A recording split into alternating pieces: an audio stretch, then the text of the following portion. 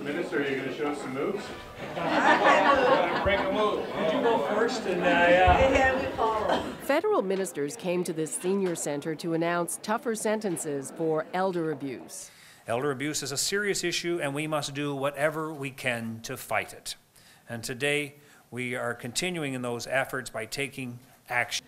The legislation says that if a person is targeted because of their age or because of other personal circumstances like health or finances, that will be considered an aggravating factor when it comes to sentencing. What, what we're saying in the legislation today is that there's a difference. If you have two 25 year olds uh, get into a fist fight with each other, it's not the same thing uh, as a 25 year old going after an 80 year old. And so, what we're saying is uh, have a look at these circumstances. Are you seeing that people get away with this?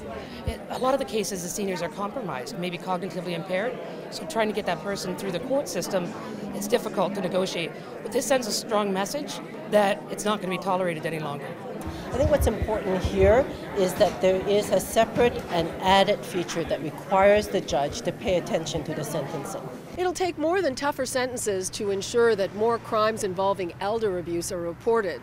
But the consensus is this is a good first step. In North York, I'm Libby Znaimer for Zed News.